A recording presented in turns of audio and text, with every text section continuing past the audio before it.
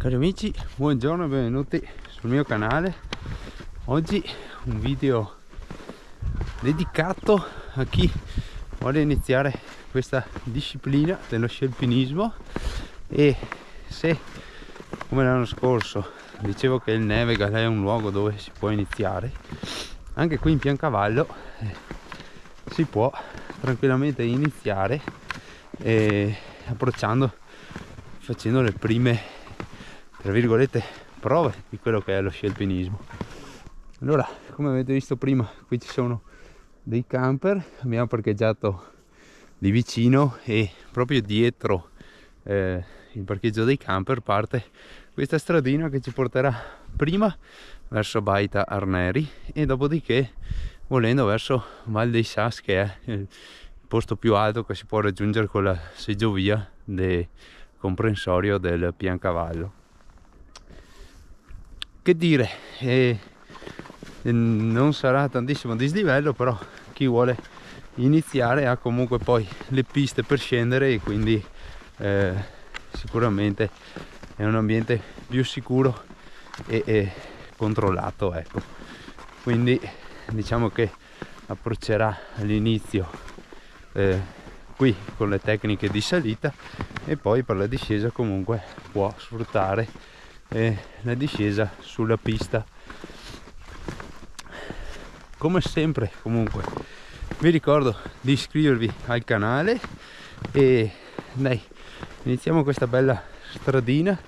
Non sarà lunghissima però insomma eh, diciamo che eh, per le prime esperienze è sicuramente un toccasana questo tipo di itinerari.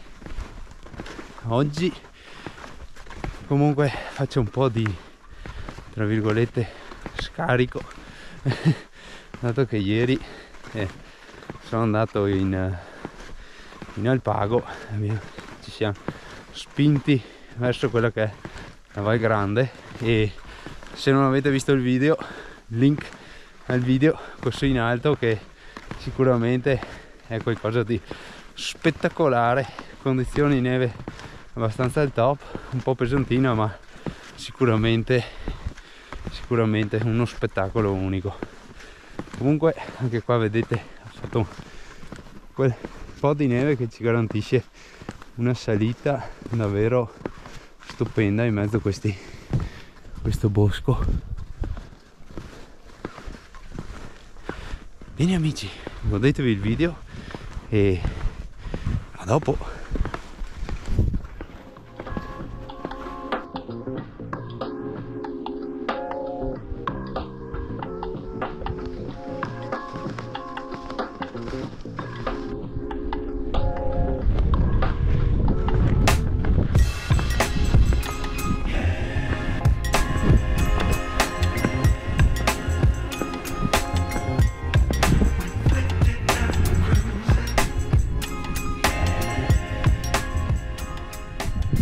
vedete siamo sempre abbastanza vicino alle piste.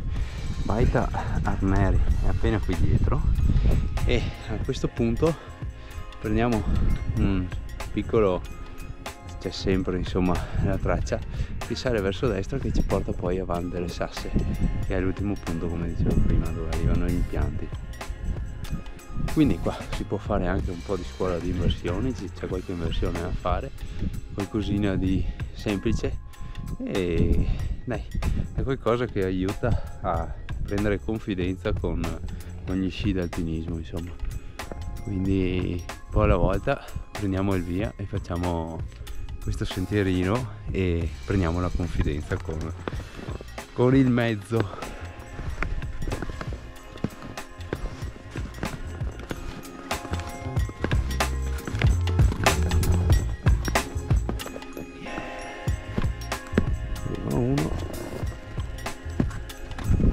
questo e l'altro.